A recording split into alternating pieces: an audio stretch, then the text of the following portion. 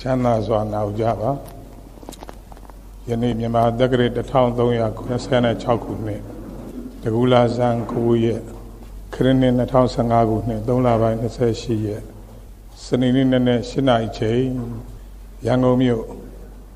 လေးစုသောဘုရားရှင်တို့၏အမွေနှင့်ကိန်းဝတ်စံပယ်တရှိရာဖြစ်တော်မူသောရွှေတိကုံစေတော်မြတ်ကြီးအရှိဆောင်တန်းဦး ပါသုံးလုံးဘာနာပြန်ပေါ်ရေးအဖွဲ့ချုပ်ဝိပဿနာပညာတက္ကသိုလ်အစဉ်သဖြင့်သုံးလောကထရရှင်တော်ဘုရားသည်မဟာကရုဏာသမဘတ်ကိုဝင်စားတော်မူ၍တတဝဝိနယအများတို့အားသနာကျင်နာတော်မူလာသောကြောင့်ဒုက္ခခတ်သိမ်းအစဉ်ကင်းငြိမ်းစေခြင်းကစွမ်းနိုင်သောတတ္တိအာနုဘောရှိသောအကျင့်မြတ်ဝိပဿနာတရားတော်များကိုဟောကြားတော်မူခဲ့ပါတယ်။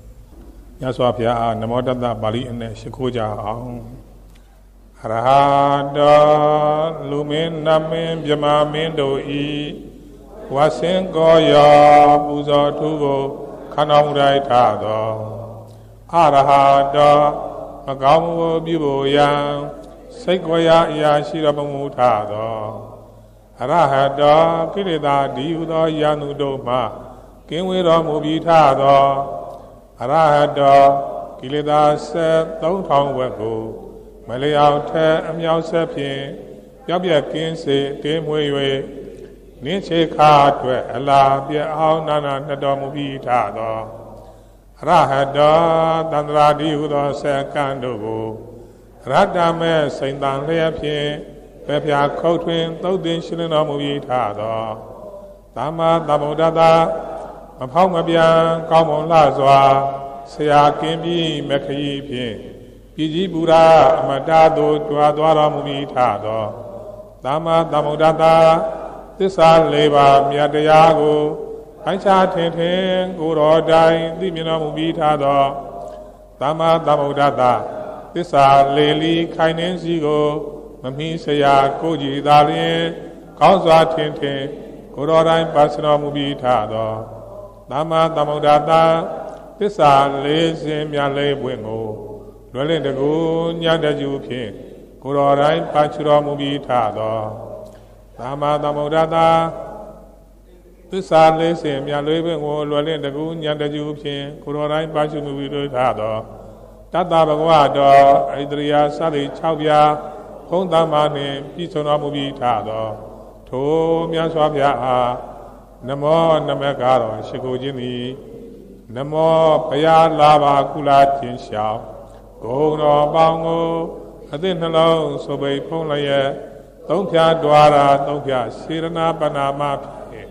ကာယဝစီမနောချီ၍ကြီးစွာသရာရှိခိုးခြင်းသည်အထုဘဝတုဖြစ်ပါစေတည်းဘုရားရှိခိုးတဲ့အခါအနည်းငယ်ပြန်ပြောမယ် နမောရဲ့နမောဆိုပိုက်လို့မြန်မာလိုရှိခိုးပါဤရှစ်လို့ရှိခိုးခြင်းကြောက်လို့ရှိခိုးခြင်းတစုံတစ်ခုကိုမျှော်လင့်ပြီးရှိခိုးခြင်းသည်ရှိခိုးရမရောက်ဘူးဒါဟုဘယလာဘကုလခြင်းရှောင်းအဲ့ဒါရှောင်းရဘာလို့ရှိခိုးရမလဲဂုံတော်ပေါင်းကိုဂုံတော်ပေါင်းကိုရှိခိုးရမယ်တဲ့အဲ့တော့တဲ့တယ်ပြောလို့ရှိရင် မရွှေတကုံတက်ပြီးတော့ဆူတောင်းတယ်ပေါ့ဘုန်းကြီးတို့လည်းတောင်းတာပဲအဲလိုရာတွေတောင်းတယ်ပေါ့ဟုတ်လားဒါသူအဆင့်နဲ့သူပေါ့အန္တဘုရုဇဉ်ကတော့လောက်ရမှာအန္တဆိုတာအကန်းဘိုင်းလို့အန္တမြန်မာလိုအကန်းအရာကောက်တဲ့ခါကျမောဟကိုကောက်ရတယ်ဘုရားဟောတဲ့စကားလုံးတွေအကုန်လုံးသူသယုတ်တရားကိုရှိတယ်အားပြီးတော့နားငယ်နဲ့တောက်ချက်နဲ့ဆင်လာတာကိုအန္တာ အကန်းဒီမှာလို့အရာကောက်တော့ဘယ်တရားကောက်မလဲမောဟကိုကောက်တဲ့မောဟဆိုတာအမှားတွေကိုသိတာမောဟအမှားတွေကိုသိတာမောဟအမှားတရားများတယ်ဥထုများတယ်စင်ကဇနဖြစ်တယ်အကန်းတရားများများဖြစ်တာကိုဥထုဇင်တဲ့မောဟဆိုတဲ့ တရားစစ်တရားမှန်တွေကိုမမြင်နိုင်မသိနိုင်တဲ့ဒါစိတ်ပဲဒါစရသိပဲဒါယုတ်ပဲနိဗ္ဗာန်ဒီသဘောရှိတယ်လို့မသိနိုင်မမြင်နိုင်တဲ့သဘောကိုမောဟခေါ်တယ်နောက်ပရိယေဘုတ်အဝိဇ္ဇာခေါ်တယ်အတူတူပဲကလိုင်းနဲ့အရာကြီးပဲမောဟခေါ်တယ်နောက်ဘာခေါ်လဲအဝိဇ္ဇာခေါ်တယ်အဲအဲ့ဒါပဲအဲ့တရားများများဖြစ်နေတဲ့ပုဂ္ဂိုလ်ကိုအန္တပုထုဇဉ်ဟုတ်လားနည်းနည်းလေးချဲ့ပြောပြမယ် သာနာတွင်သာနာဘအလှအလှတယ်ပေါ့သာနာတွင်အလှသာနာဘအလှသာမန်အဖြစ်တော့သာနာတော်သက်ကရစ်နဲ့တွက်ပြီးတော့ရသာနာနှစ်အတွင်းမှာလှူတာသာနာတွင်အလှလို့ပြောလို့ရတယ်ပေါ့စကားအရာပြောလို့ရတယ်တရားတော်ကတော့မဟုတ်ဘူးတရားတော်တော့မဟုတ်ဘူးမဟုတ်ဆိုတာကဒီသာနာတွင်အလှဆိုတာကတန္တရာဝဆင်းရဲမှာထွမြောက်ရထွမြောက်ကြောင်းကိုအောင်ပြုပြီးတော့လှူတဲ့အလှမှ ဒီတန္တရာကြီးကထွမြောက်အောင်လှူတဲ့လှူမှတန္တရာသာနာတွင်အလှဒီတန္တရာနဲ့ပြန်ပြီးတော့နင်းမမဲ့အလှကတော့သာနာဘအလှပဲအဲ့တော့အန္တပုထုဇဉ်ပုဂ္ဂိုလ်များလှူတဲ့အလှကစိတ်မှန်စေတသိက်မှန်ယုံမှန်မသိဘူးပကံတရားတွေမောဟတရားတွေများများဖြစ်တဲ့ပုဂ္ဂိုလ်ကိုအန္တပုထုဇဉ်အန္တပုထုဇဉ်တို့လှူတဲ့အလှကအဲ့ဒါသာနာဘအလှပဲသိချမှတ်တာနော်သာနာဘအလှပဲ ကလျာဏပုထုဇဉ်ကလျာဏဟိုမှာဘုန်းကြီးဘွဲ့ဥကလျာဏဒီလားရှင်ဘွဲ့ကျတော့သူကအိဋ္ဌိလိန်တာမကလျာနီဒီလိုအဲ့လိုအဲ့တော့ကလျာဏဆိုတာကောင်းတာကောင်းတာကောင်းတယ်ဆိုတာကမောဟရဲ့ဆန့်ကျင်ဘက်အာမောဟအာမောဟကိုခောက်ရတယ်။ဟိုကပဂရိသမျက်စိမှာတိမ်တလာလွှမ်းနေလို့ရှိရင်အမှန်မမြင်ဘူးပေါ့။ သဲသကွဲမမြင်ဘူးပေါ့။ထို့တူပဲမောဟအစာရသောအညစ်အကြေးတွေစိတ်မှာညစ်ကပ်နေရင်အဟုတ်အမှန်တွေကိုမသိမမြင်ဘူးပေါ့။အဲ့တော့ဒီပဂရိသမျက်စိမှာတိမ်တလာတစ်ပြေးစင်ကြဲလာတော့တစ်ပြေးပြေးကောင်းလာကောင်းလာကလျာဏဆိုကောင်းတာညှဉ်းနှွမ်းတဲ့အကုသိုလ်တရားတွေဆိုတဲ့လောဘအစာရှိတဲ့တရားတွေစင်ကြဲနေတဲ့ပုဂ္ဂိုလ်ကိုကောင်းတယ်ဘာလို့ကောင်းလဲသူကအာမောဟအာမောဟက လှူတဲ့အခါမှာဒါစိတ်ပဲဒါစရသိပဲဒါယုတ်ပဲဒီစိတ်စရသိယုတ်တွေကိုပဲတန်ត្រာခေါ်တယ်ခုနဘုရားရှိခိုးမှာအရဟတောပုဒ်မှာနောက်ဆုံးပုဒ်အရဟတောတန်ត្រာဒီဥသောစက္ကန့်တို့ကိုအရတာမဲ့စိတ်တန်လျက်ဖြင့်ပဲဖျားခုံထွင်သုတ်တင်ရှင်းလင်းတော်မူပြီးထတော်ဆိုတဲ့အပိုက်တန်ត្រာဒီဥသောစက်အကန့်အဲတဲ့တယ်ပြောရင်တော့ပြိဿသုံးပါးအင်္ဂါ12ပါးဟာ အဲတန်ត្រာဒီရောအကန့်နေပဲလိုက်ဆိုလိုက်ရအောင်အဝိဇ္ဇာသင်္ခါရဝိညာဉ်နာယုတ်တလနာဖတ်တာဝေဒနာတဏှာဥပါဒာဘဝဆယ်ခုနော်ဇာတိ7ခုဇရာမရဏဇရာနဲ့မရဏကိုသူကတစ်ခုတည်းပေါင်းယူထားတယ် အဲသိညုပစ္စည်းပိုင်းမှာနေတန်ထဖလေနာတဲ့အကျိုးဆက်အဖြစ်ကြောင့်ဇရာနဲ့မရဏအကျိုးဆက်အဖြစ်ကြောင့်နှစ်ခုကိုတစ်ခုတည်းယူထားလို့စာအတိုင်းပြောတော့ပြိဿသမဘအင်္ဂါ12ပါးလို့လို့ပြောလို့ရတယ်နော်ပြိဿသမဘအင်္ဂါ12ပါးအဲ့ဒါတန်ត្រာတိဥသောအကန့်နေပဲအဲ့ဒါတန်ត្រာတွေပဲအဲ့ဒါခန္ဓာတွေပဲအဲ့ဒါကုဆင်းရဲတွေပဲအဲ့ဒီတရားတွေကိုတစ်ခုမှမပယ်သားဖဲနဲ့ကုသိုလ်ကောင်းမှုပြုရင်အဲ့ဒါအာနာဘ အလှနဲ့အတူတူပဲအဲ့တော့ဒီတရားတွေဟာတန်ត្រာတွေပဲငါတဏ္ဍာမှာလှူတယ်လှူတယ်ဟုတ်လားလှူမယ်လှူမယ်ဟောဒီကုသိုလ်ကောင်းမှုပြုအောင်မယ်ပြုအောင်မယ်အဲ့ဒီလိုကုသိုလ်စိတ်တွေဖြစ်လာတဲ့အခါမှာစိတ်ကပဲသဘောရှိတယ်စေတသိက်ကသဘောရှိတယ်ဟုတ်လားယုတ်ကသဘောရှိတယ်လို့အကုန်လုံးမဟုတ်တော့မှစိတ်စသိယုတ်ကိုဥမာလှူတာအဲဆိုးလေးလောက်အောင်လှူတယ်လှူတယ်အများပြောမှန်တယ် တရားတော်အမှန်မှန်ငါးကောင်းကလှူသည်မဟုတ်လှူတာငါမဟုတ်လှူတဲ့ဟာငါကောင်ကလှူတာမဟုတ်ဘူးဘယ်တတ္တိယလှူတာလဲသရာစေရနာကလှူပါသည်ဟုတ်ကဲ့လားဘယ်တတ္တိယလှူတာလဲသရာစေနာကလှူပါသည်အဲ့ဒါသိကြတယ်သရာစေနာကငါဟုတ်လို့လားသရာစေနာငါဟုတ်လို့လားငါကရောသရာစေနာဟုတ်လို့လား သရာစေနာကတခြားငါကတခြားဒါသရာစေနာဖြစ်လာရင်တော့လှူတဲ့အလူရှင်ပေါ်မလာဘူးလားဆိုရောကဆိုးဆိုပြတာပဲဒီမှာကောင်းမှုရှင်ကောင်းမှုရှင်ဟုဆိုကြပါသည်အမြပြောမှန်ပါသည်သမုဒိသစ္စာတရားတော်မှန်မှာတရားစေနာဖြစ်မှာကောင်းမှုရှင်ရှိပါသည်တရားစေနာမဖြစ်ရင်ကောင်းမှုရှင်ရှိမလားမရှိဘူးတ ရားစေနာကကောင်းမှုရှင်ဟုတ်လို့လားကောင်းမှုရှင်ကရောတရားစေနာဟုတ်လို့လားတရားစေနာကတခြားကောင်းမှုရှင်ကတခြားတို့ရာတွင်တရားစေနာဖြစ်ရင်တော့ကောင်းမှုရှင်ပေါ်မလာဘူးလားဒါပြန်ကောင်းမှုရှင်ကိုရှုရမှာလားတရားစေနာကိုရှုရမှာလားတန်ត្រာဆိုတာခန္ဓာဆိုတာဝိသယံဆိုတာလူကောင်းကိုပြောတာမဟုတ်ဘူးဘယ်တရားကိုပြောတာလဲစိတ်တွေစေတသိက်တွေရုပ်တွေကို ဒီနေရာမှာသရာတို့စေတနာတို့ဆိုတဲ့အဲ့ဒီတတ္တိလေးတွေဟာတန်ត្រာပဲခန္ဓာပဲအဲ့ဒီတန်ត្រာခန္ဓာကိုရှုမြင်ပြီးတော့လူမှသာနာတွင်အလှခင်ဗျာသာနာတွင်ကုသိုလ်ခင်ဗျာအဲ့လိုသိမ့်မွေ့တယ်တရားဓမ္မကြီးညိုဝေယအဖြစ်မလူလူအောင်ဟောတာတော့တမျိုးပေါ့နိဗ္ဗာန်ရောက်အောင်သွားတဲ့နေရာတော့တန်ត្រာရဲ့ဆိုတဲ့ခန္ဓာကိုရှုမြင်ပြီးသွားပါတယ်အဲ့တော့နိဗ္ဗာန်အကြောင်းလေးဆက်မယ်နော်အမြင့်ဆုံးတရားအမြတ်ဆုံးတရား အမြင့်ဆုံးအမြတ်ဆုံးကိုသင်ယူကြပြီတဲ့အမြင့်ဆုံးအမြတ်ဆုံးဘာလို့သင်ရလဲနိဗ္ဗာန်ကိုအောင်ပြုတဲ့အခါမှာဘယ်လိုအောင်ပြုမလဲဟုတ်ကဲ့လားဘယ်လိုအောင်ပြုမလဲသူပြောငါပြောနဲ့မလုံးနဲ့လေဖရာဤကဲ့သို့ဟောတော်မူတယ်ကျမ်းဂန်ကဤသို့ဆိုတော်မူတယ်တိတိခွက်ခွက်သွားရမယ်အဲ့တော့သူဆက်ခလားသမဏ16ပြီးသွားပြီ သမဏ20ရစမယ်ဤရောရွေရောဒီရောမကြအောင်အထူးကဲဆုံးအလွန်မြတ်ဆုံးအစင်ကြယ်ဆုံးတရားကတော့တစ်ကြိမ်တစ်ခါဘူးမှမသိရဘူးတဲ့အသိထူးတွေကိုသိရတယ်တော့ဝမ်းသာစရာကောင်းတယ်နည်းနည်းတော့အဲမမီဘူးဆိုတာရှိတာပေါ့မမီပဲမဲ့လို့အစရသွား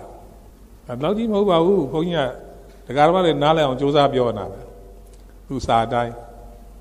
သမဏ20ထိတ်ဆုံးအစဖတ်မယ်နော်မိမိတန်ဒီသဘော၌အမြဲသာဝရနေသာတူဝါတတရာအဖြစ်တည်၍သာဝရဆိုတာလည်းပဲအစဉ်သဖြင့်တည်တဲ့တရားပဲနေသာဆိုလည်းအမြဲသဖြင့်တည်တဲ့တရားပဲဒုဝါဆိုလည်းအခိုင်ခန့်တည်တဲ့တရားပဲတတ္တဆိုတာမပြတ်တည်တဲ့တရားပဲဒါပါဠိလိုရေးသွားတာကိုပြန်ပြောမယ်နော်သာဝရဆိုတာအမြဲတည်တတ်တာကိုသာဝရခေါ်တယ်အ မြဲတည်တတ်တာကိုသာဝရခေါ်တယ်နေဆာဆိုမြဲတာကိုနေဆာဒုဝါဆိုအခိုင်ခန့်တည်တာကိုဒုဝါတတ္တရဆိုအမြဲမပြတ်ရှိတာကိုတတ္တရရောပေါ့နေစာသာဝရနေစာအမြဲသာဝရနေစာဒုဝါတတ္တရအဖြစ်တည်၍တရားတစ်ဆင့်မြကိုတန်တီတော်မှာရွေလျောပြက်ကင်းခြင်းမရှိသောကြောင့်နိဗ္ဗာန်အား မိမိတဲ့လွန်မြတ်သောတရားမိမိနဲ့ဂုံအပြင်တန်တူလောက်အောင်မြတ်သောတရားမရှိမိမိကသာကျွင်းသောပရမတ္တတရားသုံးပါးတို့တဲ့သာလွန်ထူးမြတ်သည်ဟုလိုသောရှေ့အရေးသားကိုဝိယင်းစာအုပ်မှာသမဏ26 29ခုတဲ့သူကစောရကမေကွန်းထွက်နာကပရမတ္ထတရား၄ပါးရှိပါတယ်တဲ့။ဘာလဲစေစေတသိက်ရုပ်နိဗ္ဗာန်မှာတဲ့ ပရမတ္ထတရားရင်အတူတူဖြစ်ပါရဲ့သားနဲ့ဘာလို့နိဗ္ဗာန်ကအများဆုံးဖြစ်တယ်လဲတဲ့ဒီလိုမေးနေတာဟုတ်ကဲ့လားဒီလိုမေးနေတာပရမတ္ထတရားရင်တူပါရဲ့သားနဲ့နိဗ္ဗာန်ကိုဘာလို့အများဆုံးလို့ဟောတော်မူတာလဲတဲ့ဒီလိုဒါနိဗ္ဗာန်ကမိမိရဲ့တန်တိသဘော၌အမြဲသာဝရအမြဲသာဝရနေစာဒုဝါသတ္တရာအဖြစ်တည်၍ တရားတစ်စစ်မျှကိုတန်တိသဘောမှရွေးလျော်ပြက်ကင်းခြင်းမရှိသောကြောင့်နိဗ္ဗာန်ဟာပရမတ္ထတရား၄ပါးထဲမှာဉာဏ်နဲ့တရား၃မျိုးတည်းမြတ်ပါပြီတဲ့ဒီလိုဖြေသွားတယ်တန်တိသဘောကိုလည်းပဲနားလည်အောင်လုပ်ရမယ်အဲသူကပြောငါပြောနိဗ္ဗာန်တန်တိနိဗ္ဗာန်တန်တိနိဗ္ဗာန်ဆိုငြိမ့်တာငြိမ့်တာငြိမ့်တာတကယ်စာနဲ့ကြတော့ဟုတ်ကဲ့လားဆိုတာဒါလိမ့်မယ်နော်ရှင်းဆက်မယ်ကာလသုံးပါးပိုင်းခြားခြင်းတဲ့ ဒီကောင်းစီလေးတွေကတော့ဘုန်းကြီးတတ်တာသူစောက်ထဲမပါဘူးဖတ်တဲ့ပုဂ္ဂိုလ်များလွယ်အောင်လို့ဒီစာသားကိုအချိန်ချင်းဖတ်ပြီးတော့ဒီနေရာမှာတော့ဒီကောင်းစီတက်ရသင့်တယ်ဆိုတတ်တာထိုက်တရားလျော်စွာကံစိတ်ဥဒုအာဟာရဟုသောဟေတုအကြောင်းသာဇာတာအာရမဏအနန္တရသာသောပစ္စယအကြောင်းဟူသောစာဖတ်ကြည့်လိုက်ရင်ဟိုဟေတုကလည်းအကြောင်းပဲပစ္စယလည်းအကြောင်းပဲဟိုပထမ 24ပစ္စည်းလုံးမှာပစ္စယောပစ္စယောနဲ့လာတယ်လေစမိစားလေးနဲ့ထည့်အောင်ဘုန်းကြီးတို့ငငယ်ကတိပိကတဆရာတော်ဘုရားကြီးတက္ကသိုလ်ဓမ္မယုံမှာခေါ်တယ်ညတရားပေါ့ညနေချမ်းပေါ့ဘုန်းကြီးတို့ကဒီချင်းရောက်လိုက်စူးစောင်းရတာသွားနာတာပဲတရားနာတဲ့အခါပြေးသားရှိရသွားမထိုင်အောင်ပြေးရှိရသွားထိုင်ရင်မကြိုက်ရင်ပြန်ထွက်ဖို့ခက်တယ်ဟိုးသဘင်အောင်အစုံကလူမသိတဲ့နေရာနေနားထောင်ကြားရင်ပြီးတာပဲဒီလိုအဲ့တော့ အဲ့ဒီမှာတရားပွဲမဟောခင်တရားဆရာတော်ဘုရားကြွမလာခင်24ပစ္စည်းရွတ်24ပစ္စည်းကိုပစ္စည်းရောကိုပစ္စည်းကိုပစ္စည်းကိုနဲ့ရွတ်ဆရာတော်ဘုရားပြင်မောထိုင်ထိုင်ချင်းမလုပ်ပါနဲ့တဲ့ဒီအလန်းနေဟာမမှန်ဘူးတဲ့ထံကတိုင်းမမှန်ဘူးတဲ့ဒီနိုင်ငံသားသားနေဟာရုပ်တွက်လို့မရဘူးတဲ့မြန်မာအတန်ကမှန်တယ်တဲ့ထံကတိုင်းမှန်တယ်ရုပ်တွက်လို့ရတယ်တဲ့ပစ္စည်းရောပဲဆိုပါတဲ့ အဲ့တော့တာရကအားဖြင့်သိကျင်တော့ခုဟောစဉ်မှာရှာကြည့်လိုက်တွေ့လိမ့်မယ်ဆရာတော်ဘုရားရဲ့ဟောစဉ်စာအုပ်တွေထွက်တယ်လေအဲ့ဒီမှာသူနေစွမ်းနဲ့လာလိမ့်မယ်ဟုတ်ကဲ့လားနေစွမ်းနဲ့လာလိမ့်မယ်အဲ့လိုပြောချင်တာပစ္စယောကလည်းအကြောင်းဟေတုကလည်းအကြောင်းဒါပြင်ဟေတုအကြောင်းပစ္စယောအကြောင်းခွဲပြပါဆိုရင်ဒီမှာလာပြီကံစိတ်ဥဒုအာဟာရဒီဟုသောအကြောင်းတရား၄ပါးကြောင့်ဖြစ်တဲ့တရားဒီဟေတုဟုတ်ကဲ့လားဟေတုကဘာလဲ ကံစိတ်ဥဒုအာဟာရဒီဟုသောအကြောင်းတရား၄ပါးကြောင့်ဖြစ်ခြင်းသည်ဟေတုအဲ့တော့နိဗ္ဗာန်မှာဟေတုမရှိဘူးကံကြောင့်လည်းမဖြစ်ဘူးစိတ်ကြောင့်လည်းမဖြစ်ဘူးဥဒုကြောင့်လည်းမဖြစ်ဘူးအာဟာရကြောင့်လည်းမဖြစ်ဘူးနိဗ္ဗာန်ကိုဖြစ်စေတတ်တဲ့အကြောင်းလုံးဝမရှိဘူးဒီလိုပြောတာစာဖတ်ကြည့်ရင်တော့ဒီဟာဒီစာအတိတလို့ပဲလေဟုတ်ကဲ့လားကံစိတ်ဥဒုအာဟာရဆိုတာကြားဘူးနေတာကိုရေးလည်းလည်းသိနေကြတယ် သဟသာတအာရမဏအနန္တရအစာရသောပစ္စယအကြောင်းတဲ့ပစ္စယအကြောင်းက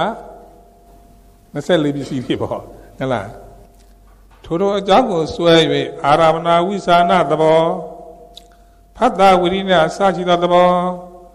ကခလာပကရဏအစာရှိသောသဘောဟုသောမိမိတို့၏ဝိသေသသဘော၏အထက်သို့ရောက်၏စေသာမန်လူတို့ဖတ်နိုင်ခဲ့တယ်စိတ်က အလုံးသိထားတဲ့အာရမဏဝိဇာဏနာလို့စိတ်မှန်မ၍ဘယ်စိတ်မဆိုအာရမဏဝိဇာဏနာအာယုံကိုသိတတ်တဲ့တတ္တိကိုအာယုံဆိုတာဘာလဲသိစရာဟိုမှာမြင်နေဆိုတာရူပါယုံကိုသိတာရူပါယုံကသိစရာအသိခံရတဲ့တရားကြားတယ်ဆိုတာတတ္တယုံကြားတာတတ္တယုံကအကြားခံရတဲ့တရားအဲ့ဒီအာယုံတွေကသိစရာတွေ အဲ့ဒီသိတတ်တဲ့သဘောကိုဟုတ်လားသိတတ်တဲ့သဘောဟာဟေတုအကြောင်းအာရမဏအစိုက်သောအကြောင်းဒီအကြောင်းနှမျိုးကိုအစွဲပြုဖြစ်ပါတယ်တဲ့ဒီအကြောင်းနှမျိုးကိုအစွဲပြုဖြစ်ပါတယ်တဲ့ဒီလိုပြောရတယ်ဟိုမှာဥဒ္ဒဇယုတ်ဥဒ္ဒဇယုတ်ဆိုတာဟိုမှာအဲမိုးကလည်းအုံတဘောဗျာဟုတ်လားအဲနှားလည်းပိတ်တဘောဗျာဟုတ်လား လူကလည်းပဲအာဘောဓလွန်ကဲနေတဲ့အခါအတန်မမှန်တော့မကြည်လင်တော့ဘူးအဲ့ဒါဥဒ္ဒဇတတ္တအာဟာရဇလည်းတယ်ဝဲအဲဘုန်းကြီးတို့အခုသက်ကူရွယ်နေဆိုအောင်ဆုံးစားပေးမယ်ဆိုရင်တချို့ကတရားနာပြီးမှပဲအာရုံကပ်မယ်ဖေဟာအေးပေါ့အေးပေါ့ဟောတဲ့အခါကျအတန်းသိမ့်မထွက်ချင်ဘူးအာယူရတယ်အဲမြင်းမြင်းဆက်ဆက်ဘုန်းကြီးသုံးဆောင်ပြီးမှဟောလို့ရှိရင်တော့မဲရှာသွက်အာသွက်ဖြစ်လာအဲ့ဒါအာရဇရုပ်ပေါ့နော် ဒီလိုရှိတယ်ဟိုကဥဒ္ဒစနောက်တစ်ခုကအခုရာသီဥတုပြင်းတယ်နော်ရာသီဥတုပြင်းတဲ့အခါမှာအိတ်ဆက်တဲ့အခါမှာပျော်ရင်ပျော်မပျော်ရင်ထိတာပဲနော်ထိတာပဲအဲ့လိုအကြောင်းမျိုးကြောင့်နိဗ္ဗာန်ကိုဖြစ်စေတတ်တဲ့သဘောမရှိဘူးတဲ့နော်သိတတ်တဲ့စိတ်ကတော့ကံစိတ်ဥဒုအာဟာရဆိုအကြောင်းကြောင့်လည်းပဲဟေတုကြောင့်လည်းဖြစ်နိုင်တယ်အနန္တသမနတဆိုပစ္စည်းတွေကြောင့်လည်းပဲ ဖြစ်နိုင်တယ်တဲ့ဖြစ်လာတာတဲ့အကြောင်းကိုဆွဲဖြစ်တာတို့တော့ကတော့စိတ်ဖြစ်ပေါ်ခြင်းသည်ဟေတုကိုလည်းပဲအစွဲပြုဖြစ်တယ်အနန္တသမန္တရတွေကိုလည်းပဲပစ္စည်းတွေကိုလည်းပဲအစွဲပြုဖြစ်တယ်နိဗ္ဗာန်ကတော့ဘာမှစွဲပြုပြီးတော့ဖြစ်เสียမရှိဘူးတဲ့ဘယ်အကြောင်းမှဖြစ်เสียမရှိဘူးတဲ့လို့ပြောရတယ်နောက်တော့ကဖ ဖုဒနာဝိရိယနာတဘောဖုဒနာဖတ်တာဝိရိယနာဝေဒနာဖတ်တာတို့ဝေဒနာတို့ဆိုတာလည်းပဲဟေတုအကြောင်း ပစ္စယအကြောင်းကိုအကြောင်းခံပြီးဖြစ်တာပါတဲ့ဟုတ်ကဲ့လားနိဗ္ဗာန်ကတော့ဟေတုအကြောင်းကြောင့်လည်းမဖြစ်ဘူးပစ္စယအကြောင်းကြောင့်လည်းမဖြစ်ဘူးလို့လို့ပြောတာနော်နောက်ကက္ခလကက္ခလဆာမာကြောတဲ့သဘောပထဝီဓာတ်ပေါ့ပထဝီဓာတ်ပက္ကရဏပက္ကရဏဘာလဲပက္ကရဏခန်းငယ်နဲ့ဂိုင်းနဲ့ဆင်းထားတယ်လေပက္ကရဏ ဖွဲ့စည်းယိုစီးတဲ့သဘောအဲ့ဒီယုတ်တရားတွေလည်းဟေတုအကြောင်းကြောင့်လည်းဖြစ်တယ်ပြစ္ဆယအကြောင်းကြောင့်လည်းဖြစ်တယ်ပြန်ပြောမယ်နော်ဟေတုအကြောင်းကဘာလဲကံစိတ်ဥဒုအာဟာရအဲ့ဒါဟေတုအကြောင်းပြစ္ဆယအကြောင်းကဘာလဲအနန္တရသမနန္တရစာရတဲ့ပစ္စည်းတွေရဲ့အကြောင်းဟုတ်လားအဲ့ဒီအကြောင်းနှမျိုးကိုစွဲပြီးတော့ကက္ခလမာတဲ့ပထဝီဓာတ်ဖြစ်ပါတယ်တဲ့ အဲပက္ကရဏယုတ်အစည်းတဲ့ဖွဲ့စည်းတဲ့အာဘောဓာတ်လည်းဖြစ်ပါတယ်တဲ့စသည်ဖြင့်အဲ့တော့စေစေတသိက်ယုတ်၃မျိုးကိုသူကွက်ထုတ်ပြတယ်နော်ကျန်တဲ့ဟာအတူတူပဲစိတ်ကအာရမဏဝိသန္ဒနာစေတသိက်ကဖုဒနာဝိရိယနာယုတ်ကကခလာပက္ခရဏဟုတ်ကဲ့လားပြန်ပြောမယ်နော်ဒီစိတ်စေတသိက်ယုတ်၃မျိုးလုံးဟာ ဟေတုအကြောင်းပစ္စယအကြောင်းကိုစွဲဖြစ်တာပါတဲ့နိဗ္ဗာန်ကတော့ဘယ်အကြောင်းမှစွဲမဖြစ်ဘူးတဲ့လို့ပြောတယ်ဒီမှာတော့ကာလသုံးပါးပိုင်းပြတာကိုအလုံးကောင်းတယ်ခင်ဗျာလူတွေထင်လို့မဟုတ်ဘူးနောက်ပိုင်းတွေးလိုက်ပါတယ်အဲ့လိုနားလည်ပြီးတဲ့အခါကျပြန်ဖတ်မယ်နော်ထိုက်တရားလျော်စွာကံစိဥဒုအာဟာရဟုသောဟေတုအကြောင်းသဟဇာတာအာရမဏအနန္တရအစရှိသောပစ္စယအကြောင်းဟူသော ထိုတို့အကြောင်းကိုစွဲ၍အာရမဏဝိသနာတဘောစိတ်ဖုဒနာဝိရိယအစရှိသောတဘောစေတသိက်52ကကလကကလမကရဏအစရှိသောတဘောဟူသောဓာကြီးလေးပါမိမိတို့ဝိသေသာသဘောဤအထက်သို့ရောက်ဆဲထိုသဘောနှင့်ပြည်ဆုံးဆဲဥပတိပင်ဟူသောခဏတရားသို့ရောက်ဆဲထိုခဏတရားနှင့်ပြည်ဆုံးဆဲဖြစ်သောကြောင့်ပစ္စုပန်မိကုန်သည်တဲ့ ဟိုကစိတ်ရဲ့ပစ္စုပန်စိတ်ရဲ့ပစ္စုပန်ဟာဥပခဏထိခဏဘင်ခဏ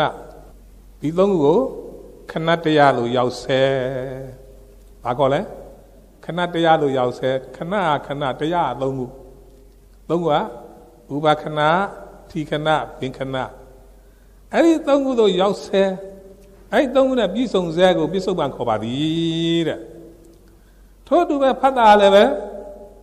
ခဏတရားတို့ရောက်ဆဲခဏတရားနဲ့ပြည့်စုံဆဲကိုပြစ္ဆုတ်ပံခေါ်ပါသည်ကကလပကရဏမထူအာဘာစာရတဲ့ဓာတ်တွေလည်းပဲဥပခဏထိခဏဘင်ခဏခဏသုံးချက်မှာပဲပစ္စုတ်ပံဖြစ်ပါတယ်တဲ့ဒီလိုပြောနေအာဒါတော့သိပြီးသားပဲလို့ဒီလိုပါဦးမယ်ရှေ့ကြတော့ဒီအခြေခံမပါရင်ရှေ့မှာနားလည်ဖို့ခိုင်းရင်သွားလိမ့်မယ်ဆက်ဖတ်မယ်နော် အာရမဏဝိဇာနာဖုဒနာကကလအစိုက်သောမိမိတို့သဘောသို့ရောက်၍ထိုသဘောကိုလွန်ပြီးထိုသဘောမှကင်းပြီးခဏတရားရောက်၍ခဏတရားကိုလွန်ပြီးဖြစ်သောကြောင့်အတိဒမိကုန်သည်တဲ့စိတ်ကလည်းပဲဥပတိပင်ဒီသုံးချက်လွန်သွားပြီအတိတ်ဆိုတာစတရိတ်ကလည်းပဲဖတ်တာဝေဒနာတွေကဥပတိပင်ဆိုတော့သုံးချက်လွန်သွားပြီဓာကြီးလေးပါးဆိုရုပ်တရားလည်းပဲကက္ခလပက္ကရဏ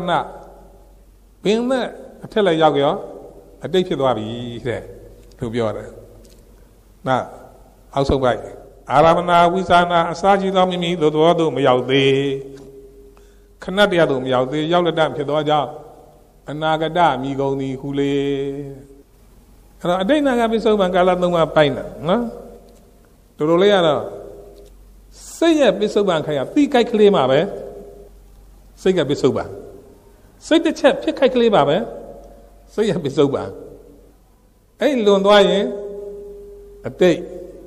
ဖြစ်ဆက်ဖြစ်လက်တန့်ဆိုရင်အနာဂတ်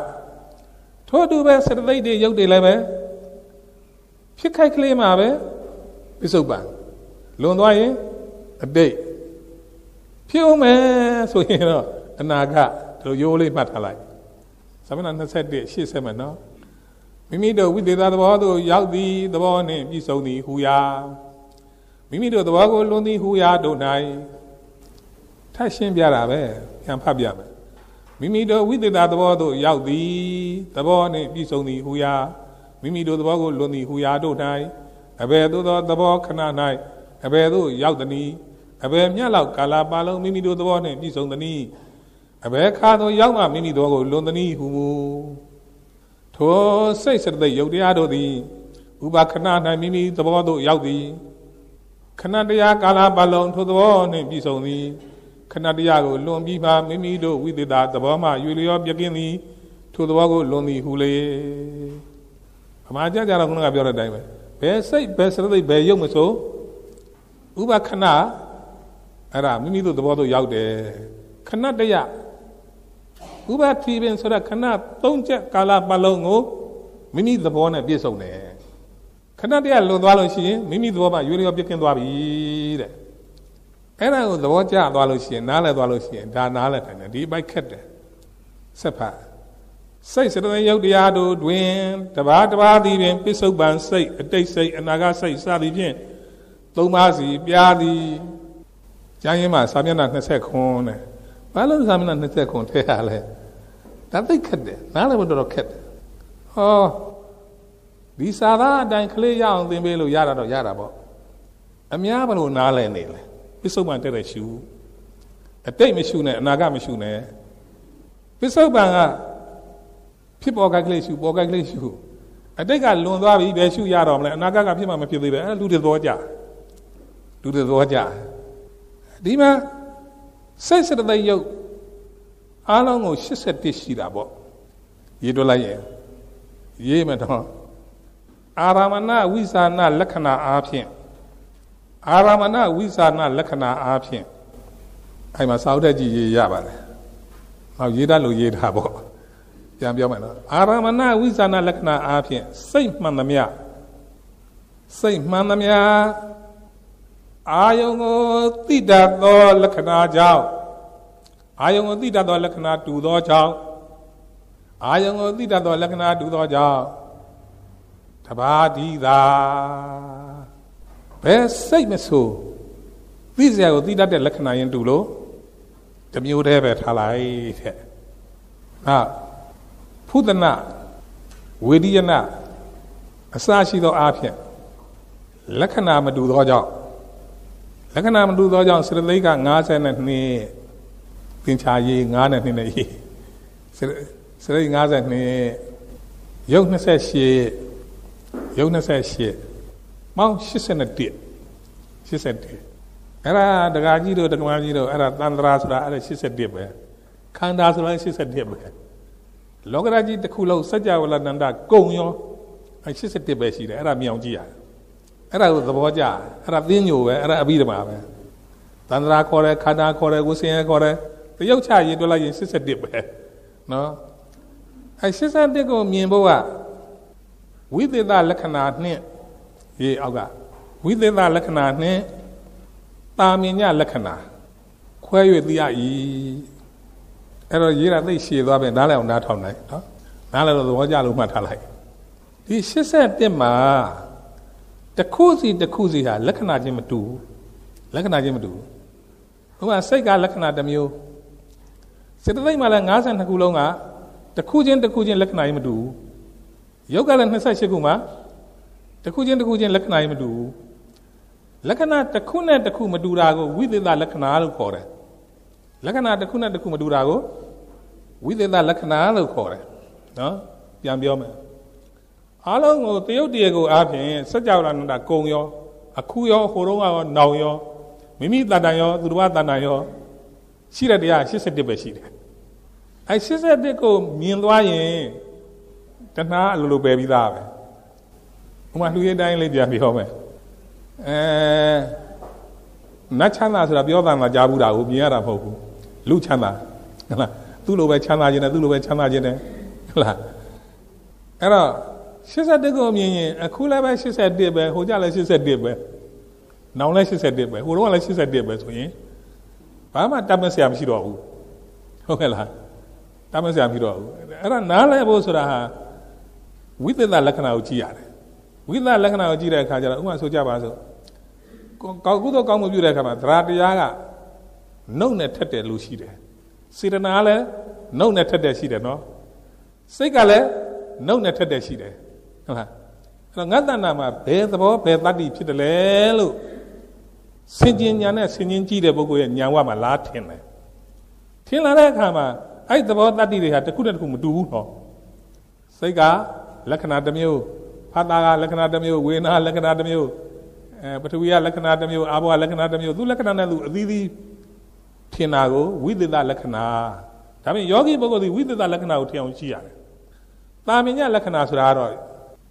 တာမညလက္ခဏာဆိုတာအနိစ္စဒုက္ခအနတ္တဒီသုံးမျိုးကိုတာမညလက္ခဏာခေါ်တယ်။တာမညဆိုတာတူတာတပေါင်းနဲ့တသားနဲ့တမျိုးနဲ့တူတာကိုတာမညဘယ်စိတ်ဘယ်စရိတ်ဘယ်ရုပ်ဝင်ဆိုအနိစ္စအဖြစ်မတူဘူးလားအနိစ္စသဘောတွေကိုမသက်ဝင်ဘူးလားဟုတ်လား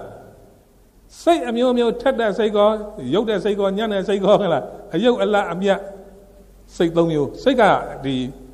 ပင်းညိုဘုံပိုင်းဆိုတာ၅ပိုင်းမြောက်ကြတော့ကုသိုလ်စိတ်၅မျိုးရှိတယ်သသင်္ခါရမသင်္ခါရဝိပစ္စတိဆိုခါထားမှာနော်မြန်မာလိုတားလည်းအောင်ပြောပါမယ်မကြမကြပြောပြတယ်အယုတ်အလတ်အမြတ်ဆိုသုံးမျိုးမနေဘူးလားအယုတ်အလတ်အမြတ်ဟုတ်လားအမြတ်ကအမြတ်ဆုံးတစ်ခုထက်အယုတ်ကအညုံညာဆုံးတစ်ခုထက် အမြတ်ဆုံးနဲ့အယုတ်ညာဆုံးနှစ်ခုထက်ငါးခုပြည့်မသွားဘူးလားဗမာကြကြလွယ်တယ်နော်ပြန်ပြောမယ်ကုသိုလ်ကောင်းမှုတွေပြုတော့လဲဒီငါးမျိုးတစ်မျိုးမျိုးနဲ့ပြုကြတာတချို့ကတော်တော်ယုံညံ့တယ်တော်ယုံညံ့တာရကတွေမပြောတော့ဘူးတော့အယုတ်အလားအမြတ်စိတ်ထားသုံးမျိုးအမြတ်က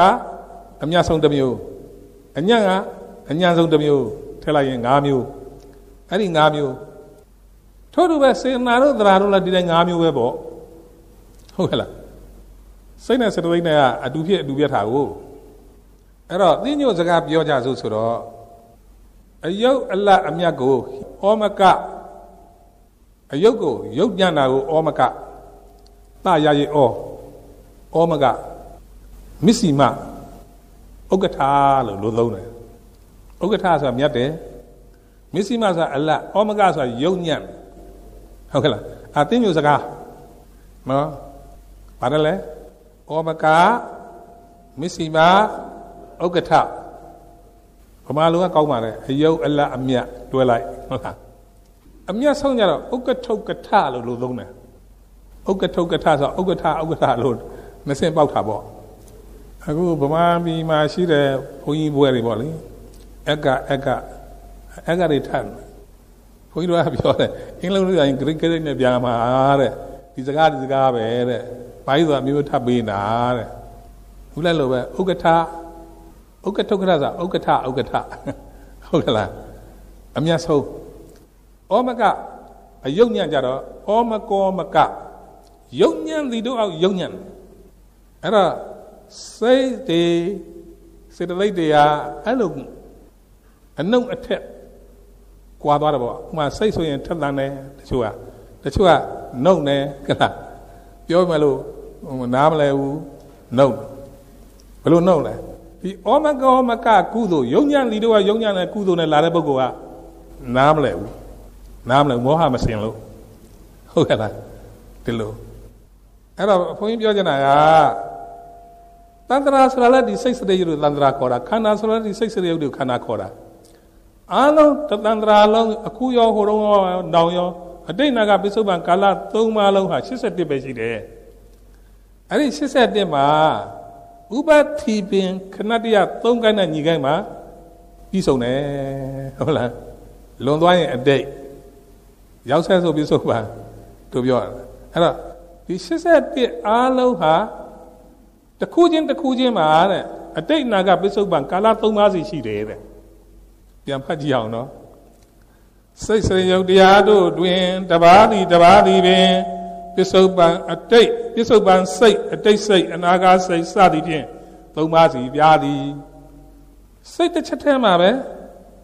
မဖတ်တာတစ်မျိုးတည်းမှာပဲဝေဒနာတစ်မျိုးတည်းမှာပဲဖြစ်ပေါ်လာတယ်ဖြစ်ပေါ်လာတယ်အတိတ်အနာဂတ်ပစ္စုပန်ကာလ၃ပါးစီရှိတယ်တဲ့အဲ့ဒါလူတွေနားလဲတာနဲ့တရားစစ်တရားမှန်နဲ့တခြားစီပဲခလား လူဘိန်းကြိုက်ကလေးကတော့ခမရဗျာလူမီးဟာဘယ်လိုရှုမလဲအနာဂတ်ကဖြစ်မှမဖြစ်သေးပဲခမရမျောလင့်ပြီးရှုလို့ပဲရမလားပြစ္ဆုတ်မှန်တဲ့တဲ့ရှုဗျာဆိုလိုတာအတ္တပြစ္ဆုတ်ပံကိုပြောတာပါဒါအပူစကားထည့်ပြောရင်မှလမ်းလျှောက်ခိုက်ဈဉ္ဉံသွားခိုက်ခလားဈဉ္ဉံသွားခိုက်မှထိုင်ခိုက်ရက်ခိုက်ဒါကိုပြောတာတကယ်စိတ်စိတ်တည်းရုပ်တွေဖြစ်ခိုက်ကတော့ဖះညံတော်နဲ့လာမိပါကျန်တဲ့ပုဂ္ဂိုလ်ကဖះဟောတာကိုညံ ပြောင်းလိုက်ပြီးတော့သိမ့်ကျုံပြီးတော့ဩဒီသဘောတရားတွေကဒီတိုင်းမှလားလို့လုံးချတာဟုတ်လားစိတ်တစ်ချက်ချင်းတစ်ချက်ချင်းကိုအတိတ်ကပစ္စုပန်ကာလသုံးပါလုံးဘယ်မြင်နိုင်မလဲနားလည်အောင်ပြောဖို့တော့နားထောင်ဖို့တော့တော့ခရင်81ဟာတစ်ခုချင်းတစ်ခုချင်းမှာနော်အတိတ်အနာကပစ္စုပန်ကာလသုံးပါးစီရှိတယ်တဲ့ဒီလိုပြောနေအဲ့တော့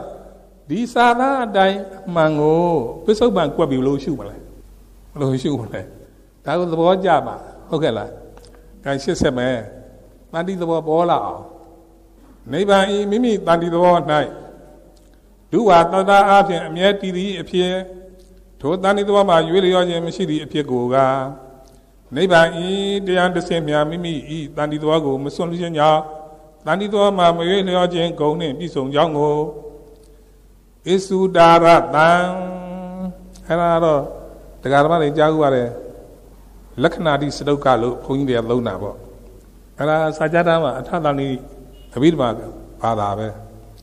ဥမာပရမတ္ထတတ္တိတစ်ခုကိုလက္ခဏာရတ္တပစ္စုပ္ပန်ဗဒဋ္ဌံ၄ချက်ဟုတ်လား၄ချက်ဒီစိတ်စရတဲ့ရုပ်မှာ၄ချက်လုံးရှိတယ်၄ချက်လုံးရှိတယ်အခုဒီမှာနိဗ္ဗာန်ရဲ့အစ္ဆုဒရတ္တရတ္တဆိုတာကိစ္စရာကောင်းတဲ့သားနဲ့ရတ္တရတ္တဆိုတာဘာလဲကိစ္စ နိဗ္ဗာန်ရဲ့ကိစ္စတဲ့အစ္ဆုဒရတ္တမှုသည်မိမိတန်တိတော်မှာမိမိရောခြင်းဂုံနှင့်ပြည့်စုံ၏ဝါမိမိတန်တိတော်မှာမိမိရောခြင်းသည်နိဗ္ဗာန်ဤကိစ္စမိ၏တန်တိဟုသည်နှုံညင်းထက်ခြင်းစသည်ဖြင့်ဖောက်ပြန်၍လျော်သောမိသည်မရှိသည်သာဖြစ်၏ဒီဘက်ကလေးကိုကြိုပြောထားတယ်နော်လိုက်ဆိုလိုက်စမ်းပါတန်တိဟုသည်နှုံခြင်းထက်ခြင်း စသည်ဖြင့်ဖောက်ပြန်၍လျော်သောမိသည်မရှိသာဖြစ်၏ပြန်ပြောပြမယ်နော်ခြုံလိုက်ပြီစိတ်အားထက်သန်လိုက်တာ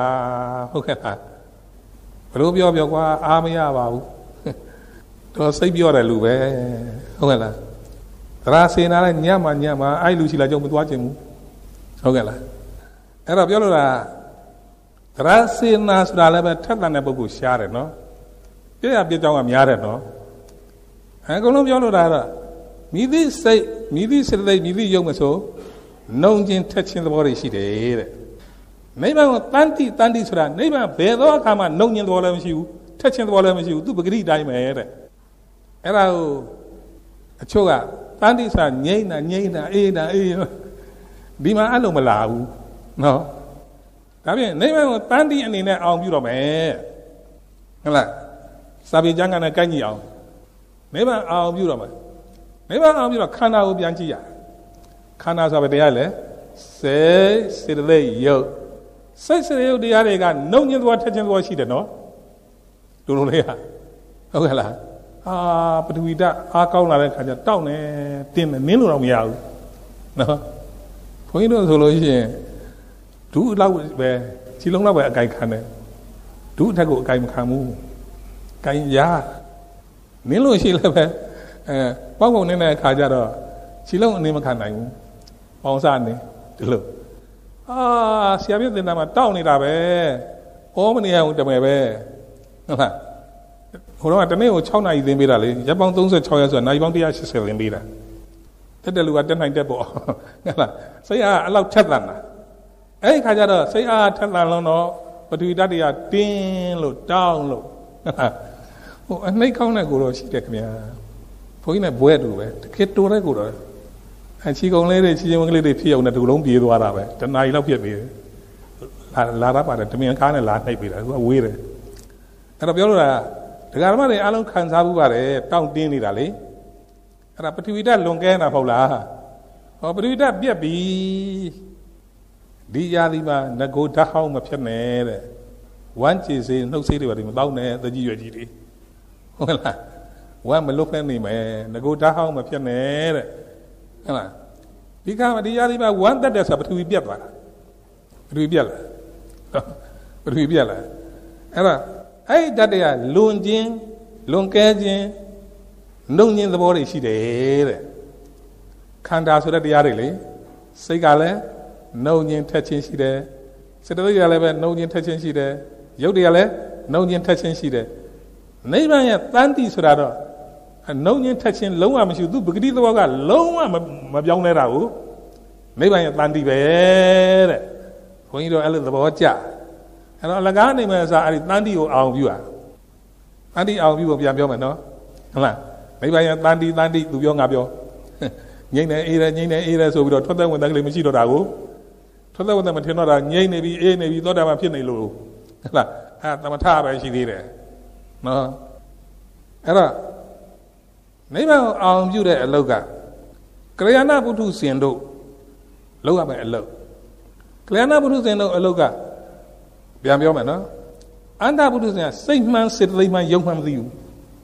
စာသိတော့သိတာပေါ့ဟုတ်လားဟောတတ်တယ်ပြောတတ်တယ်ဉာဏ်အမြင်နဲ့ရှုမြင်တဲ့အလေးချင်းကိုမလုပ်ဘူး ဉာဏ်အမြင်နဲ့ရှုမြင်တဲ့အလုပ်ကိုမလုပ်အခုဉာဏ်အမြင်နဲ့ရှုမြင်တဲ့အလုပ်ကြတော့ဟုတ်လားဒါစိတ်ပဲဒါစရိပဲဒါယုတ်ပဲဘယ်စိတ်ကဟုတ်လားဘယ်သဘောရှိတယ်စေတသိက်မှလည်းဘယ်စရိကဘယ်သဘောရှိတယ်တတ္တိတစ်ခုချင်းတစ်ခုချင်းရဲ့တစ်ခုနဲ့တစ်ခုမတူထူးခြားတာကိုကွက်ပြီးတော့မြင်လိုက်ကွက်ပြီးတော့မြင်လိုက်ဟိုကစိတ်ကမတူထူးခြားပုံလေးစိတ်ကတစ်ခုလေးဆိုလက္ခဏာတစ်ခုလေးဆိုမလို့ညာနာဝေပြုတ်စိတ်နဲ့ ညာနာတာပြုတ်စိတ်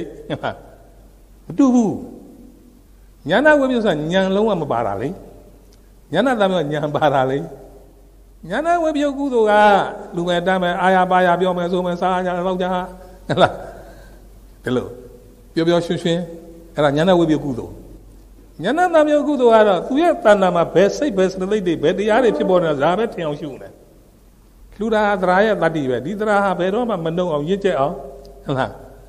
ဒီသရတရားဟာခန္ဓာပဲသန္တရာပဲဝိဆင်းရဲပဲဒီခန္ဓာသန္တရာလွတ်မြောက်တဲ့နိဗ္ဗာန်ကိုသူကအောင်ပြုဒီနေရာမှာတန်တိအနေနဲ့အောင်ပြုရင်ခန္ဓာကိုပြန်ချူရမယ်ခန္ဓာဆိုတာလဲစေစေတေယုတ်စိတ်စေယုတ်တို့ကတော့နှုံခြင်းသဘောထက်ခြင်းသဘောဒါကိုရွေ့လျောတဲ့ခေါ်တယ်မိမကတော့နှုံခြင်းသဘောထက်ခြင်းသဘောလုံးဝမရှိဘူးသူ့သဘာဝအတိုင်းကအနည်းငယ်ပြရွေ့လျောခြင်းသဘောမရှိဘူးဒါလေးပဲ လားနိဗ္ဗာန်ရဲ့တန်တိအဲ့ဒါကိုအာယုံထက်ခါထက်ခါပြုတာကိုဥပဒမနုဒတိကမ္မထာအားထုတ်တယ်လို့ခေါ်တယ်ဗျဟုတ်ကဲ့လားဥပဒမနုဒတိကမ္မထာဆိုတာအနုဒတိ10ပါးတည်းဆိုတော့သမထဖြစ်မနေဘူးလားသမထနော်အဲ့ဒါဝိသုဒ္ဓိမဲ့ပဲဝိသုဒ္ဓိမဲ့ပဲအနုဒတိနေတ္တအဖွင့်မဲ့အနုဒ္ဓိနေတ္တအဖွင့်မှာဝိသုဒ္ဓိမဲ့မှာကိုးတဲ့အခါကျဘာပြန်ကိုးလဲဆိုတော့အင်္ဂုတ္တစတုတ်ကနိဗ္ဗာန်ပြန်ကိုးတာပြန်ကိုးတာ အဲ့ဒါကတော့ဒီစာအုပ်ကုံမပေါ့လေပြီးခဲ့တဲ့ကစာငွေကမေးခွန်းကိုဟိုဝေနာနုပဒနာရှုွက်ထဲမှာစာရွက်ပြောက်သွားမှဆိုစာသားပြောက်သွားမှဆိုထည့်ထားပါတယ်အဲ့ကြမှာပြန်ပြောမယ်ဥပဒမနုဒတိကမ္မဋ္ဌာန်းဘယ်လိုအားထုတ်မလဲနိဗ္ဗာန်ကိုအဖန်တလဲအောင်ပြုနေတာကိုဥပဒမနုဒတိကမ္မဋ္ဌာန်းနိဗ္ဗာန်ဤဂုံကျေးဇူးတွေကိုအောင်ပြုတာကိုဥပဒမနုဒတိကမ္မထံအဲ့ဒါသမထ ဒါဖြင့်နိဗ္ဗာန်ကိုဥပဒမနုဒတိကမ္မထံမြတ်လေ့ကျက်ထားတဲ့ပုဂ္ဂိုလ်သည်အာယုံအဖန်လည်းပြုထားတဲ့ပုဂ္ဂိုလ်သည်မျက်မှောက်ပြုတဲ့အခါကျတော့လွယ်ကူစွာပြုနိုင်တယ်တဲ့အထောက်အကူအများကြီးရသွားတယ်အဲ့ဒါဘာပစ္စည်းလဲအာသေဝနာပစ္စည်းရှေ့ရှေ့ကုသိုလ်ဇောတွေကနောက်နောက်ကုသိုလ်ဇောကိုကျေးဇူးပြုတယ်နိဗ္ဗာန်ရဲ့ဒီဥသောအာယုံကိုနိဗ္ဗာန်ဤတန်တိဆိုင်တဲ့ဂုံကျေးဇူးတွေကိုအဖန်လဲလဲအောင်းမိနေတာဘာကမ္မထာလဲ ဥပဒနာပါနုဒတိကမ္မထာသမထဥပဒနာတို့တွင်သမထဒီကမ္မထာကိုလက်ကျက်ထားတဲ့ပုဂ္ဂိုလ်သည်ဝိပဿနာရဲ့အထွတ်ထိပ်ဆိုနိဗ္ဗာန်ကိုမျက်မှောက်ပြုတဲ့အခါကျတော့အများကြီးအထောက်အကူပေးတယ်တဲ့လို့သွားတယ်။ဒါလက်ကျက်ရမယ်။ဆိုတော့တန်တိအနေနဲ့လက်ကျက်မယ်။ပြန်ပြောမယ်နော်။လောက်တတ်အောင်လို့သူကလူရဲ့အလုံးမဟုတ်ညာရဲ့အလုံးတွေအရာရာမှာညာကလာတာလောကမှာစီးပွားဆိုင်လည်းပဲညာကောင်းတဲ့လူက တက်သွားတာပဲညာမရှိတဲ့လူကကြာရင်ခဲ့တာပဲအရာရာမှာညာကြီးဝိပဿနာအလုပ်ကညာနဲ့သွားတာညာနဲ့သွားတာစိတ်ကူးနဲ့ဟလားကြံစီမှုနဲ့မသွားဘူးဘုရားဟောတိုင်းသွားရတယ်ဘုရားဟောတိုင်းတန်တိယရှေးဥစွာမိမိတဏ္ဍာမှာစိတ်ဖြစ်တယ်စေတသိက်ဖြစ်တယ်ရုပ်ဖြစ်တယ်ဟောဘယ်စိတ်ပဲစေတသိက်ပဲရုပ်မဆို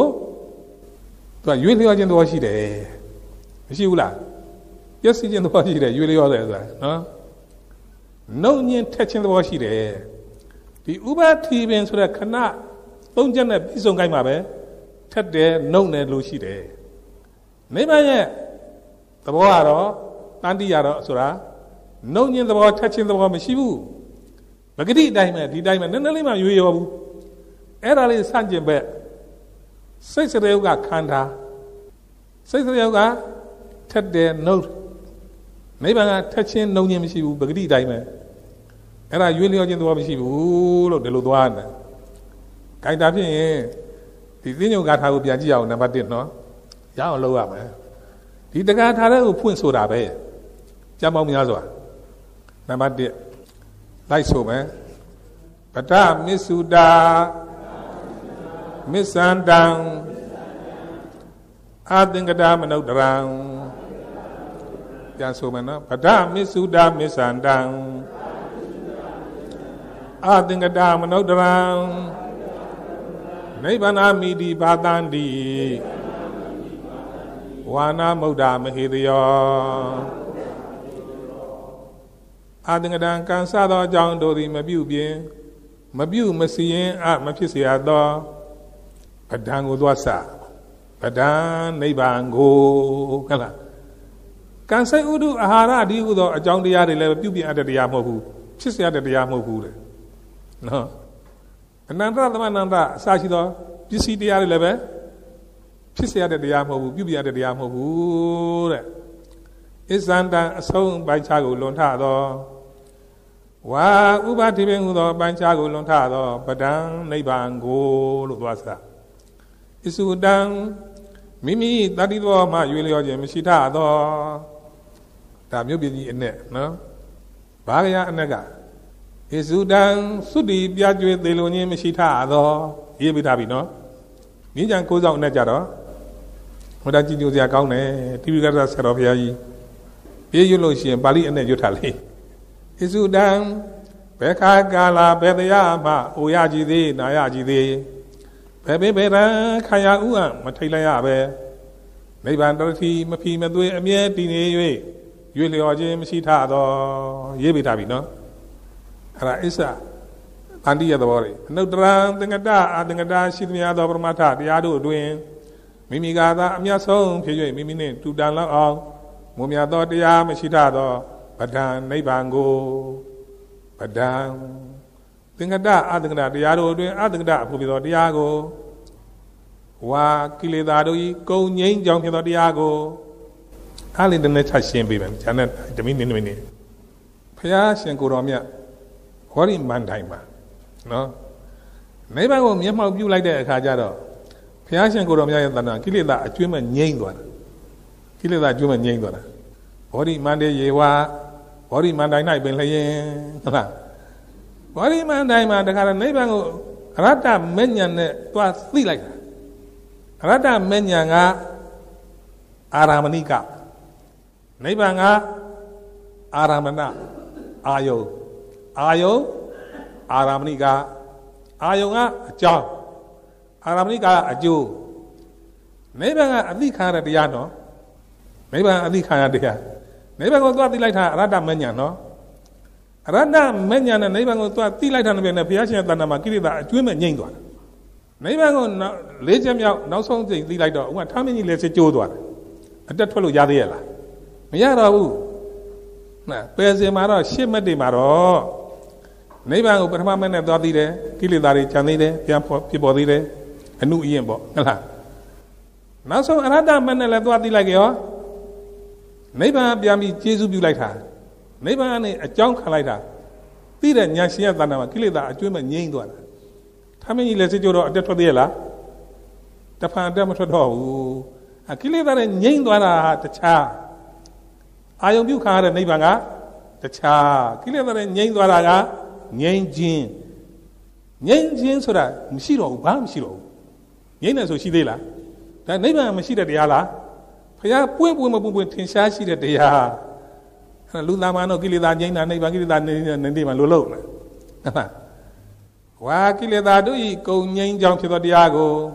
ဝါကိလေသာကိုကာမကိုဝိပါကကိုကိုသုံးပါတို့ဤကုံခြင်းဤအကြောင်းဖြစ်သောတရားကို ဝါချမ်းသာခြင်းဤအကြောင်းဖြစ်သောတရားကိုချမ်းသာခြင်းဤအကြောင်းဖြစ်သောတရားကိုချမ်းသာတော့နိဗ္ဗာန်လို့မပြောဘူးနော်ချမ်းသာခြင်းအကြောင်းကိုဟဲ့လားချမ်းသာသွားလိုက်တာသန္တရာဝုစင်ရကြီးတကယ်ဂွေးလုံးကျွတ်သွားဟောချမ်းသာသွားအဲ့ဒါနိဗ္ဗာန်အကြောင်းခံလိုက်လို့အဲ့ဒါတွေထူးတယ်ချမ်းသာတယ်ချမ်းသာတယ်နိဗ္ဗာန်ချမ်းသာဆုံးကနိဗ္ဗာန်စကားအရာတင်စားပြောတာမှန်တယ် တကယ်တော့ချမ်းသာတာအကျိုးနိဗ္ဗာန်အကြောင်းနိဗ္ဗာန်အကြောင်းခံလိုက်လို့ချမ်းသာတာဒါကြောင့်နိဗ္ဗာန်ကိုအောင်ပြုပြီးရင်ဒုက္ခရော့ရော့လိုက်တယ်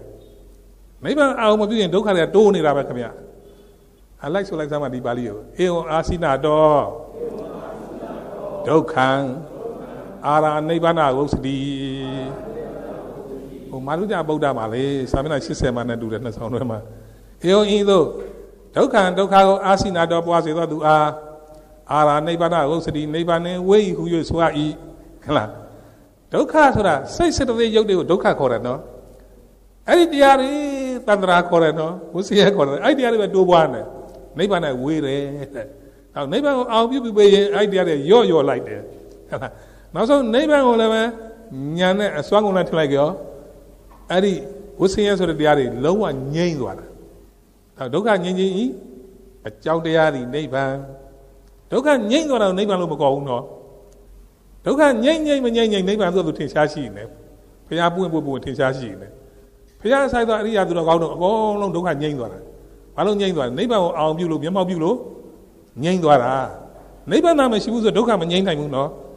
အဲ့ဒါကဒုက္ခနဲ့နိဗ္ဗာန်ဟောကွဲမှာလာတယ်ဟုတ်ကဲ့လားဒါဒီအနက်တွေကိုနားလည်ဖို့ဆိုအဲ့လိုသွားရတယ် ချမ်းသာခြင်းအကြောင်းဖြစ်သောတရားကိုနိဗ္ဗာန်အမိဒီနိဗ္ဗာန်မြည်ဟူ၍ဝါနာမုတ်တာဝါနာဟုသောတဏမှာလွတ်တော်မကုန်ပြီးသောမေဟေတယောမိလက္ခဏာစသည်ကုံကျေးဇူးအထူးကိုစီဘူးရှာမိတော်မကုန်ပြီးသောဘုရားရှင်တို့သည်အာတန်ဒီဟောတော်မူကုန်၏အသိဉာဏ်ရုပ်ပိုင်းအဆုံးနာမှာဒီကာထာရှိတယ်ကောင်းစီလေးကနိဗ္ဗာန်ဆိုပြီးတော့နော်အသိဉာဏ်သိဉာဏ်နဲ့ခိုင်မှုအောင်ခိုင်ကြည့်သားမှာလို့အဲ့ဒါလည်းနည်းနည်းပြောမယ်နော်ဒကာဓမ္မတွေကရုဏာမေတ္တာတရားနဲ့ပြောတာ အာကြီးဆိုတော့ကရုဏာနဲ့ပြောတာမသိဉာဏ်ကိုယ်ပိုင်းကို9ရက်နဲ့အပြတ်တင်တယ်ဆိုတော့ကောင်းလိုက်တာလူကကောင်းတယ်မတက်ဘူးတဲ့လူကကောင်းတာမသိဘူးတဲ့လူကကောင်းတာမကြားဘူးတဲ့လူကကောင်းတာဘယ်လိုလုပ်ရမလဲ9ရက်နဲ့သင်းညိုကအမတန်ကျယ်ဝန်းတာအဘိဓမ္မာခုနှစ်ကျမ်းလုံးသိမ့်ကျုံပြီးတော့ဟောထားတာနော်အဲ့တော့စာအုပ်တောင်မမြင်ဘူးတဲ့လူတွေကကောင်းတာသင်းညိုခက်တယ်ခက်တယ်ဆိုတာသိချမှတ်တာနော်မတတ်တဲ့လူကခက်မလား သင်းညိုမသိဘူးတဲ့လူကခက်မလားလို့သင်မမသိဘူးပဲသူပဲခက်မလဲသင်ဘူးတဲ့လူမှခက်တာသင်ဘူးတဲ့လူကအခက်တည်းရတွေ့တာဟောတင်းနေနေပါလားတင်းသိမ့်မွေ့ပါလားဟုတ်ကဲ့လားအဲ့တော့စေစေတသိက်ရုပ်နိဗ္ဗာန်၄မျိုးကိုရှေးဥစွာစိတ်ပိုင်းကိုခေါ်တော်မူတယ်ပြီးတော့မှစေတသိက်ပိုင်းသုံးပိုင်းမြောက်ကအကိန်းပိုင်းစိတ်စေတသိက်ရုပ်ကိုရောပြတယ်စိတ်တွေရောပြပြီးတော့၄ပိုင်းမြောက်တော့စိတ်အစဉ် ဝိတိဝိတိကစိတ်အစဉ်ဟုတ်ကဲ့လားအော်ငါးပိုင်းမြောက်ကြတော့ဘယ်စိတ်ပြင်းရင်ဘယ်ပုဂ္ဂိုလ်ဘယ်ဘုံရောက်မယ်ဘုံနဲ့ပိုင်းပြသွား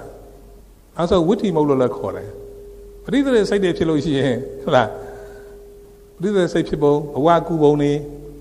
သန္တရာလဲပုံနေဝိတိမုတ်ပိုင်းမှာစိတ်စစ်သိက်ကိုငါးချိန်သင်ပြီးတော့မှစိတ်ပိုင်းစေတသိက်ပိုင်းပကိန်းပိုင်းဝိတိပိုင်း ဘုံပိုင်းခေါ်တာနော်ဝိတိမုတ်ပိုင်းခုခေတ်လူသုံးတယ်စိတ်စေတသိက်ကိုငါးချိန်သင်ပြီးတော့မှရုပ်ကိုသင်တာရုပ်ကိုသင်တာရုပ်သင်ပြီးတော့မှနိဗ္ဗာန်ကိုအဲ့မှာရုပ်ပိုင်းအဆုံးလေးမှာထည့်ထားတာနော်ရုပ်ပိုင်းအဆုံးလေးမှာထည့်ထားတာအသိဉာဏ်ဆရာဟာအဲ့လိုသင်တာဟုတ်ကဲ့လားအဲတရစားတယ်ပြောလိုက်မယ်လေစိတ်စတဲ့ရုပ်၄မျိုးစုံတဲ့အခါကျတော့တရားကျင့်လို့ရပါလားဆိုတော့ဘာလာလဲသမုတ်စီပိုင်း သမုတ်စီပိုင်းမှာခန္ဓာနာဓာတ်သစ္စာတွေဘောဓိပက္ခိယတရား38ပါးတွေမလာဘူးလားအဲ့ဒါသမုတ်စီပိုင်းဗောဓိပက္ခယတရား39ပါးဆိုနိဗ္ဗာန်ရောက်ကြောင်းအကျင့်နေလေဒါကျင့်တော်လို့လာပလားဆိုတော့သိအပ်တဲ့တရားတွေသိအောင်သင်ရတာပြီးတော့မှပစ္စည်းပိုင်းပရိစ္ဆသုံးပါးပဋ္ဌာန်းပစ္စည်းပိုင်းဟေတုအကြောင်းပစ္စယအကြောင်းမှန်ပရိစ္ဆသုံးပါးဆိုတဲ့အကြောင်းအကျိုးပဋ္ဌာန်းအကြောင်းအကျိုးအဲ့ဒါပစ္စည်းပိုင်း ဘယ်နှပိုင်းဖြစ်သွားလဲရှစ်ပိုင်းဖြစ်မသွားဘူးလားပြန်ပြောမယ်နော်စိတ်ပိုင်းစေတသိက်ပိုင်းပကိမ့်ပိုင်းကြတော့ယောတာစိတ်နဲ့စိတ်ကိုယောပြဟုတ်လားယောပြဘယ်စိတ်ဖြစ်ရင်ဘာတွေသိနိုင်တယ်ဘယ်စိတ်ဖြစ်ရင်ဘာတွေသိနိုင်တယ်လို့လာတာလေးပိုင်းများကြတော့စိတ်အစဉ်ကိုပြောသွားတယ်ငါးပိုင်းများတော့ဘယ်စိတ်ဖြစ်ရင်ဘယ်ပုဂ္ဂိုလ်ဟာဘယ်ပုံရောက်ဝင်ဟုတ်လားစိတ်စေတသိက်ကိုငါးပိုင်းသင်ပြီးတော့မှနော်ရုပ်ကိုသင်တာ ရုပ်28ပါးသင်ပြီးတော့မှနိဗ္ဗာန်သင်တာဒါစိတ်စရိတ်ရုပ်နိဗ္ဗာန်၄မျိုးစုံသွားပြီနော်သမုတ်စီပိုင်းဆိုတာအဲ့မှာဗောဓိပက္ခယတရား38ပါးနိဗ္ဗာန်ရောက်ကြောင်းအကျင့်နေပြနော်ပြကျင့်တော့လို့မလားသေးဘူးသိရတဲ့တရားတွေသိရတော့မကျင့်ခင်သိရတဲ့တရားသိရရှစ်ပိုင်းမြောက်ကြတော့ပစ္စည်းပိုင်းပဋ္ဌာန်းနီပရိစ္ဆသမနီရှေးဥစွာပရိစ္ဆသမနီနောက်ပဋ္ဌာန်းနီပဋ္ဌာန်းကိုတက်မဲ့ဆိုရင်ပစ္စည်းပိုင်းကပါဠိတွေရရင်ရမရရင်တက်လို့မရဘူး နှစ်ချက်စုသုံးချက်စုဟုတ်လားအဲ့ပါဠိတွေရရဒါမှနားလည်နိုင်တယ်ပဋ္ဌာန်းဒီတိုင်းသွားတက်လို့မရဘူးဥပမာလူတယောက်ပြောတယ်ကျွန်တော်သိညိုဖတ်နေတယ်ဗျာတဲ့ဘာဖတ်ဆိုမြန်မာပြန်ဘာနားလဲမှာဘာနားမလဲဘူးသရုပ်ဘယ်လိုလုပ်နားလဲမလဲလို့သိညိုကသရုပ်ပိုင်ရတယ်နော်အဲ့တော့အားလုံးစိတ်စစ်သိရုပ်ကိုနော်ရှစ်ပိုင်းသင်ပြီးတော့မှနောက်ဆုံးပိုင်းကဘာလဲကမ္မထာပိုင်းကိုးပိုင်းများကြမှာကမ္မထာဆိုတာဘာလဲအလုတ် မောင်မင်းလုတ်တော့ဟောအားထုတ်တော့ကမ္မထာဆိုတာအားထုတ်ခိုင်းတာမမီအောင်ပြောပါမယ်ဘုန်းကြီးရမ်းဆယ်ဝါမပြည့်ခင်ကရွှေချင်းတပါးဦးမှာဒကာကြီးတွေကသိတော်တဲ့ဒကာကြီးတွေလာတယ်ကိုတော့ဒီကျမ်းထဲကဒီလိုဆိုတယ်ဒီပါဠိကဒီလိုဒီစာမျက်နှာမှာလို့ရှိတယ်ဒီကျမ်းကလို့ရှိတယ်အဲ့ဒါတွေမလို့ချင်ဘူးတဲ့ဒီလိုတော့အလုတ်လုတ်ချင်လို့လာတာအလုတ်ကိုဘယ်လိုလုတ်ရမလဲဒါပဲပြောတယ်ဘယ်လိုထိုင်ရမလဲဒါပဲလို့ချင်တယ်တဲ့ကျွတ်လည်းငယ်တော့မပြောတာဘူးဒါရုပ်ချိုးစားတယ်ချိုးစားတော့ဒီကြည့်ဟိုကြည့်ကြည့်လို့မရ နောက်ဆုံးကြတော့ဟာသိညမှာသွားတွေ့တာဟုတ်လားဘာမှမသိဘဲနဲ့အထုတ်လို့ရတယ်ဆိုရင်ကမ္မထာမင်းကိုထိတ်ဆုံးအောင်ထားရမယ်ဘယ်လဲဘာမှမသိဘဲနဲ့လှုပ်လို့ရတယ်ဆိုရင်ကမ္မထာမင်းကိုထိတ်ဆုံးထားအလောက်ကအရေးကြီးဆုံးပဲဆိုရင်ဘာမှသိသိမသိလှုပ်အရေးကြီးတယ်ဆိုရင်ကမ္မထာမင်းကထိတ်ဆုံးအောင်ထားရမယ်ဘယ်နဲ့လဲခုတော့ဘယ်ပိုင်းကိုထိတ်ဆုံးထားလဲစိတ်ပိုင်းကိုထိတ်ဆုံးထားတယ် စိတ်တဲ့စေတသိက်တွေရုပ်တွေကိုကြည်ညက်ညက်လင်းပြီးမှအားထုတ်ရတာဟုတ်ကဲ့လားအဲ့ဒါတင်းညိုပဲတကားတော့နော်တင်းညိုပဲနိဗ္ဗာန်နိဗ္ဗာန်နဲ့နိဗ္ဗာန်ကိုမသိမနဲ့ဘယ်လိုအောင်ပြုမလဲဟုတ်ကဲ့လားဩကိုင်တန်တိသောနိဗ္ဗာန်ပြန်ပြောမယ်နော်နိဗ္ဗာန်ရဲ့တန်တိသောကစိတ်တဲ့စေတသိက်တွေကတစ်ခုချင်းတစ်ခုချင်းရောအကုန်လုံးရောနှုံညင်းသောထက်ချင်းသောရှိတယ်နိဗ္ဗာန်ကတော့နှုံညင်းထက်ချင်းမရှိဘူးပဂတိအတိုင်းပဲအဲ့ဒါတန်တိပဲဒါလေးတစ်ခါတည်းအောင်ပြုနေတာဘာကမ္မထာလဲ ဥပဒဝနုဒတိကမ္မထာဒီကမ္မထာကိုလက်ကျက်ထားတဲ့ပုဂ္ဂိုလ်ဒီနိဗ္ဗာန်ကိုမျက်မှောက်ပြုတဲ့အခါကျတော့လောလောကူကူတန်းဝင်သွားတယ်နောက်ခက်နေတယ်တဲ့။ကြိုင်နာကြစို့